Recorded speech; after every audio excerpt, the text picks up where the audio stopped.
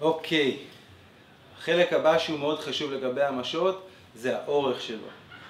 משוטים לגלים, ההמלצה שלי, ללכת על משות שהידית תהיה ממש בגובה המצח שלי, אולי 2-3 סנטים גבוה יותר, וזה יאפשר לנו להיות הרבה יותר ספונטניים בהחלפה של משות על הגל, הרבה יותר קרובים עם מרכז כובד כלפי הגלשן, וכמובן מבחינת עומס על הכתפיים, מרפק ומפרק היד, אנחנו עושים הרבה פחות נזק, אם בכלל.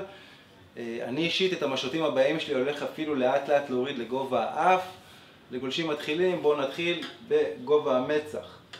לחתירה, על רייסרים, גליידרים, או אם אנחנו רוצים סתם לצאת לחתור בשביל הסבבה, אני ממליץ ללכת על אורך של באזור ה-15 סנטימטר מעל גובה הראש, שאם אנחנו נשים את היד על המשות, אנחנו נקבל זווית כזו במרפק, ככה אנחנו נדע שאנחנו נמצאים עם משות באורך נכון לחתירה.